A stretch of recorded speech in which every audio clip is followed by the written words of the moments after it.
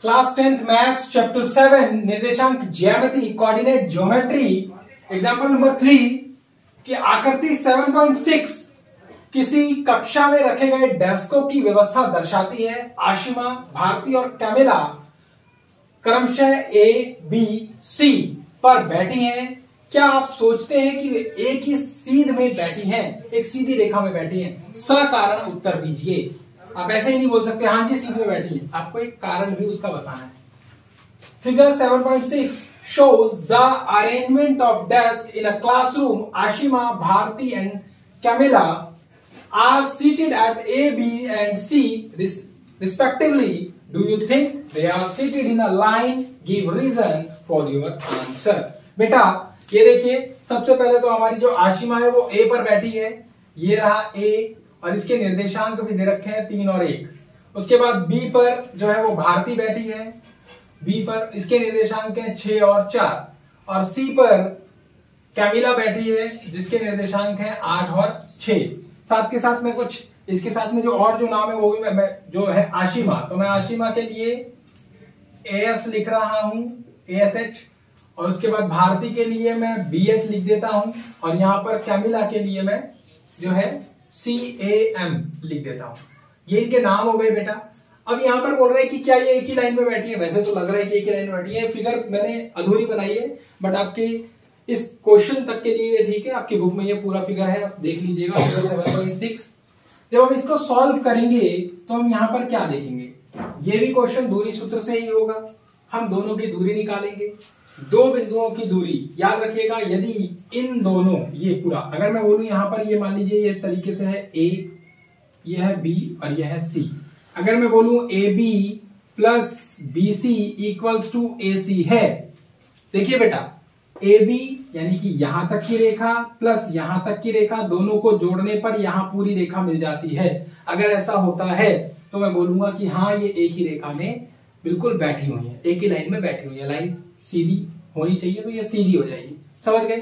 तो अब आप तीनों पॉइंट्स निकालेंगे। सबसे पहले आप निकालेंगे दूरी सूत्र से by distance formula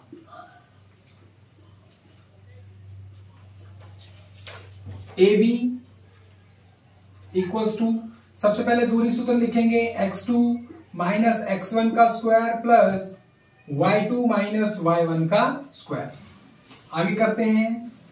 A B A B का मान बेटा ए ये रहा और बी ये रहा। तो ए मैं पहले लेकर चल रहा हूँ एक्स टू इसी को मानकर चल रहा हूँ थ्री माइनस सिक्स प्लस का होल स्क्वायर और प्लस में क्या आ गया? वन माइनस फोर का स्क्वायर ये कितना हुआ बेटा? छ में से तीन छ में से तीन गया तो आपके पास में माइनस थ्री का स्क्वायर प्लस माइनस थ्री का स्क्वायर ये हो गया बेटा तीन तिया नौ जमा नौ अठारह हो गया। और इसको आगे हम सॉल्व करेंगे तो ये हो जाएगा 18 और 18 के जब मैं टुकड़े करूँगा तीन गुना तीन गुना दो तीन दूनी छह छह दूनी तीन दिया नौ नौ दूनी अठारह। तो जोड़े में से एक तीन बाहर अंडर रूट में टू आ गया। इकाई अब आप नेक्स्ट निकालेंगे तो यहाँ से बीसी का मान निकाल लेंगे आप। बीसी वो रहा ये और ये पॉइंट्स लेकर चलेंगे under the root six minus eight का square plus four minus six का स्क्वायर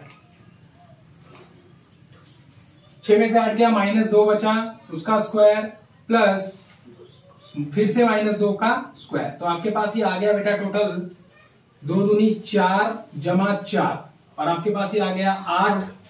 इसके आप टुकड़े कर देंगे दो गुना दो गुना दो एक जोड़ा बाहर आ जाएगा. तो इसका आंसर जो होगा आपके पास में दो अंडर रूट दो आएगा. अब आप लास्ट जो है पूरा आपने इन दोनों की दूरी निकाल दी अब आपने इन दोनों की दूरी निकाल दी कुल दूरी निकाल दीजिए। मतलब आपने टोटल डिस्टेंस यानी एसी आपको निकालना है। तो इसी में फिर से डिस्टेंस फॉर्मूला लगेगा इसको और इसको लेकर चलेंगे। थ्री माइनस एट का square plus one minus six का स्क्वायर तीन में से आठ गया माइनस फाइव का स्क्वायर प्लस माइनस फाइव का स्क्वायर पच्चीस जमा पच्चीस और इसको जब आप करेंगे तो ये टोटल हो जाएगा पचास। इसके और टुकड़े कर देंगे तो दो पंजे दस पंजे पचास। तो ये दोनों बाहर आ जाएगा। तो आप लिख देंगे फाइव अंडर रूट टू अब आप यहाँ देखेंगे कि A B plus B C equals to A C है या नहीं है। तो ए बी का मान कितना है बेटा? Three under root two plus B C का मान है टू अंडर रूट टू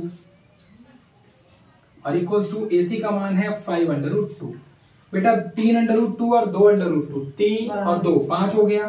पाँच अंडर रूट टू बन गया और इक्वल्स टू में पाँच अंडर रूट टू तो आप बोलेंगे कि यहाँ बिंदु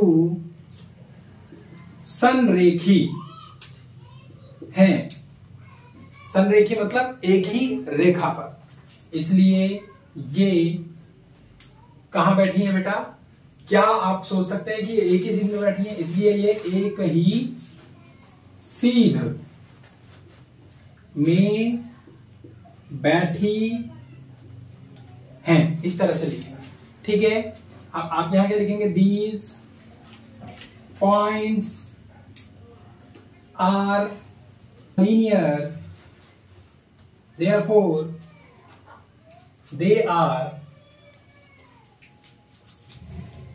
are seated in समझ गए? तो देखिए, आपको डिस्टेंस फॉर्मूला समझ में आ गया। आपको यह भी पता लग गया कि दो बिंदुओं के बीच में दूरी कितनी निकालनी है बट यहाँ तक आपको बात खत्म नहीं करनी है। आपके लिए इंपॉर्टेंट है कि जो पूछा जा रहा है, आप उसको बता पा रहे हैं या नहीं बता पा रहे हैं। और उसके लिए ये इंपॉर्टेंट है कि आपको कुछ रूल रेगुलेशंस पता हो समरेखी का अर्थ होता है, बेटा, जब तीन बिंदु एक ही रेखा पर मिलते हैं तो उसे समरेखी बिंदु कहते हैं। जब तीन बिंदु एक ही रेखा पर मिल गए तो ये आपको पता होगा कि जो बीच वाला बिंदु होगा यहाँ से बीच तक और बीच से आगे तक। तो टोटल जो आगे, बिल्कुल पहला और आखिरी जो बिंदु होगा, उन दोनों को मिलाकर टोटल बिंदु होगा। जिस तरह से हमने A B plus B C equal to A C निकाला, इस तरह से। ये प्लस ये बराबर ये। समझ गए बात को? ये चीज़ आपको पता होनी चाहिए।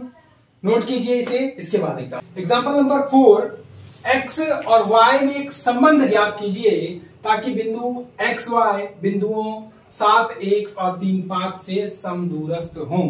समदूरस्थ मतलब बराबर दूरी पर। सम मतलब बराबर और दूरस्थ मतलब दूरी पर।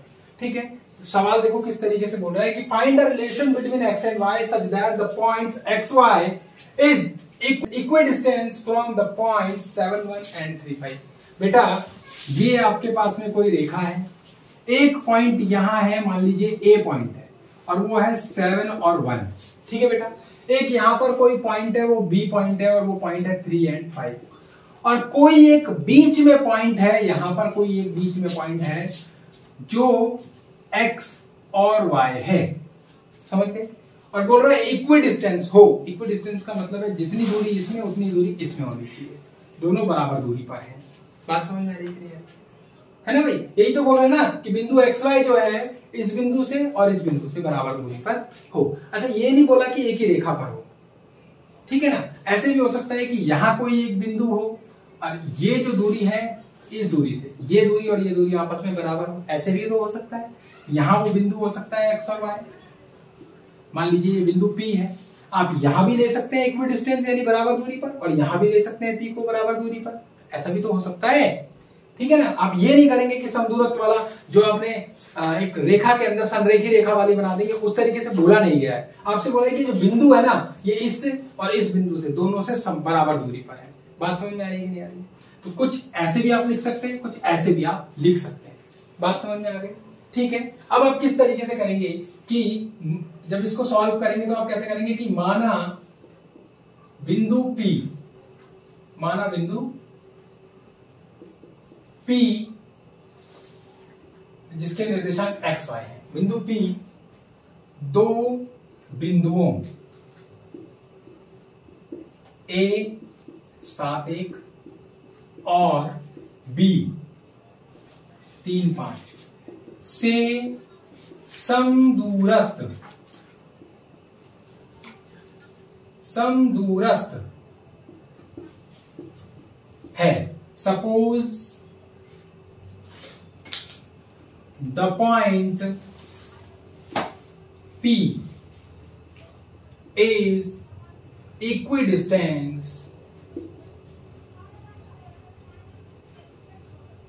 from the points A 7 1 and B 3 and 5 ये लिख दिया आपने कि मान लिया भैया जी, ये आप इस बिंदु को भी ले सकते हो, इस बिंदु को भी ले सकते हो। आपको कंफ्यूजन ना हो, इसीलिए मैं ये वाला बिंदु हटा रहा हूँ, ताकि आप इस सवाल को इस तरीके से कि माना एक बिंदु पी है जो इससे इससे समान दूरी पर है। तो बेटा याद रखना, ये जो दूरी होगी वही, ये भी होगी। कहने का क्या मतलब है कि एपी जो होगा, वो बराबर होगा बीपी के। अरे भाई, दोनों बराबर होंगे कि नहीं होंगे? दूरी सूत्र से इसकी दूरी और इसकी दूरी डिस्टेंस फॉर्मूले से दोनों दूरियाँ बराबर होंगी। तो मैं अब दोनों जगह फॉर्मूला लगाकर चलूँगा। ठीक है? तो देखिए बेटा, दूरी सूत्र से। दूरी सूत्र से by distance formula AP AP ये वाली दूरी। तो मैंने अंडर दी रूट फॉर्मूला तो पता ही है आप सभी को। यहाँ लिख भी दीजिए आप formula X two minus X one का whole square plus Y two minus Y one का होल स्क्वायर बेटा जी देखो, मैंने यहाँ पर फॉर्मूला लिखा सेवन माइनस एक्स का square seven minus X two minus X one का whole square plus one minus Y का होल स्क्वायर कोई दिक्कत है? एपी की दूरी निकाल लेंगे अब बीपी पर चलते हैं, यहाँ से लेकर यहाँ तक। फिर इसको भी मैंने अंडर रूट में लिखा। मैंने लिखा थ्री माइनस एक्स का whole square plus five minus Y का होल स्क्वायर एक चीज़ बहुत अच्छे से ध्यान दीजिए कि बराबर के दोनों तरफ़, बीच में इक्वल है और दोनों तरफ़ पूरी पूरी संख्याएँ, पूरा पूरा जो मान आपको दिया गया है, वो पूरा का पूरा अंडर रूट में है। अगर ये पूरा का पूरा अंडर रूट में है तो इस अंडर रूट से इस अंडर रूट को आप बहुत आराम से काट सकते हैं। यदि ये पूरा का पूरा स्क्वायर में होता क्यूब में होता तो भी आप स्क्वायर से स्क्वायर क्यूब से क्यूब काट सकते थे, कोई दिक्कत नहीं है। समझ गए? बट होना पूरा चाहिए, जैसे ये पूरा है ठीक है ना? ऐसा नहीं कि आप इस स्क्वायर को इस स्क्वायर से काटेंगे, नहीं काट सकते। पूरा नहीं है बेटा, इतने पोर्शन का स्क्वायर है। यहाँ अलग पोर्शन है, यहाँ अलग पोर्शन पूरा अगर है तो आप काट सकते हो। दोनों तरफ़ पूरा पूरा होना चाहिए। जैसे अंडर रूट पूरे पूरे से मैंने काट दिया। ठीक है ना? अब हम यहाँ फॉर्मूला लगाएँगे ए माइनस बी का होल स्क्वायर ठीक है? ए माइनस बी का होल स्क्वायर को कैसे करेंगे? A square minus two A की जगह सेवन और बी की जगह एक्स प्लस बी स्क्वायर ठीक है बेटा? A square minus two A B plus B square फिर प्लस का निशान लगा दिया। A square minus two A B A B और plus B square A plus B का ए माइनस बी का स्क्वायर ए माइनस बी का square का फॉर्मूला लगा दिया। नेक्स्ट इक्वल्स टू का निशान है इक्वल टू का निशान लगाया। A square minus two A B और प्लस बी स्क्वायर फिर प्लस का निशान A square minus two A B plus B square समझ गए इतनी बात को बेटा? समझ गए? ठीक है? यहाँ पर आपने ए माइनस बी का होल स्क्वायर का फॉर्मूला लगाया। ध्यान देना, यहाँ पर इसको हम थोड़ा सा और सॉल्व करते हैं तो सात सत्ते उनचास माइनस दो सत्ते चौदह एक्स प्लस में क्या लिखा है? एक्स स्क्वायर प्लस एक एकम एक माइनस दो एकम दो वाई और प्लस में क्या लिखा है?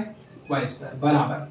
तीन दिया बन गया नौ माइनस दो दिया बन गया छ X plus X square plus पचू पचू बन गया पच्चीस माइनस दो पंजे बन गया दस वाई और प्लस में क्या लिखा है? वाई स्क्वायर देखो बेटा, एक बात ध्यान दो। डायरेक्ट डायरेक्ट काटने वाली चीज़ बताऊँगा। बराबर का निशान है। ये एक्स स्क्वायर इधर प्लस में है। इसको उठाकर मैं उस तरफ़ अगर लेकर चला जाऊँ तो माइनस में चला जाएगा। ऑलरेडी यहाँ पर एक प्लस वाला है। ये एक्स स्क्वायर प्लस में, और जो यहाँ से उठाकर मैं वहाँ लेकर गया, वो बन गया माइनस में। प्लस माइनस दोनों आपस में एक दूसरे से कट गए। तो कहने का मतलब है कि बराबर के इस तरफ़ और बराबर के इस तरफ़, यदि समान संख्याएँ जमा घटा में हैं, समान संख्याएँ, बिल्कुल बराबर संख्याएँ हैं तो वो आपस में कट जाएँगी। जैसे ये प्लस का एक्स स्क्वायर है, ये भी प्लस का एक्स स्क्वायर है, दोनों आपस में कट जाएँगे।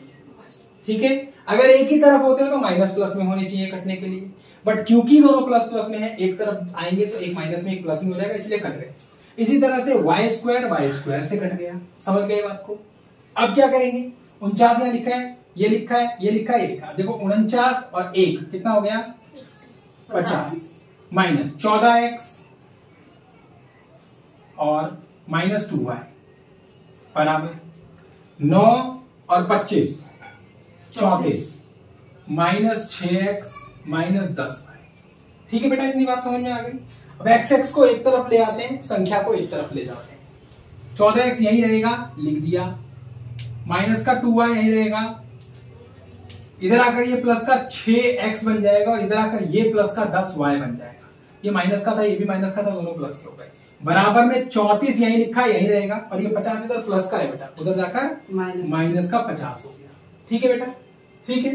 अब इसको देखो चौदह एक्स में से छ एक्स चला गया। ये मैं यहाँ लिखा हूँ। चौदह एक्स में से छ एक्स चला गया। आठ एक्स बचा वो भी माइनस का उसके बाद दो वाई में से दस वाई दस वाई में से दो वाई चला गया तो प्लस का आठ वाई बच गया बराबर। पचास में से चौंतीस गया तो माइनस का बच गया आपके पास सोलह। सिक्सटीन बच गया। ठीक है? पूरे में से आठ कॉमन ले लो। ठीक है? आठ मैंने कॉमन ले लिया। माइनस एक्स बचा प्लस वाई बचा। बराबर में माइनस का सोलह। तो minus X plus Y equals to कितना? उधर जाकर क्या हो जाएगा ये? माइनस सोलह बटे आठ हो जाएगा। आठ एकम आठ आठ दूनी सोलह। आपके पास minus X plus Y equals to में आ गया माइनस टू। समझ गए बात को? साइन चेंज करने हैं तो आप सारे साइन चेंज कर देंगे। इसको ऐसे भी लिख सकते हैं X minus Y equals to two इसको प्लस कर दिया इसको माइनस कर दिया इसको प्लस कर दिया। यहाँ तक भी करते हैं तो भी ठीक यहाँ तक भी करते हैं तो भी ठीक। ये रिलेशन आ गया X minus Y equals to two यही रिलेशन हमें निकालना था, जो एक्स और वाई के बीच में, जो हमने निकाल दिया। समझ गए आप? तो इस तरह से आपने इक्वली डिस्टेंस वाली बात पढ़ी कि यदि दोनों रेखाएँ एक बिंदु से बराबर दूरी पर है तो उसे हम कैसे सॉल्व करते हैं? दोनों तरफ़ दूरी सूत्र लगाते हैं अंडर रूट का काम ही खत्म कर देते हैं पहली बार में और फिर उसे सॉल्व करते हैं। ठीक है? होप आपको दोनों एग्ज़ाम्पल समझ में आए होंगे। नोट कीजिए। Thank you so much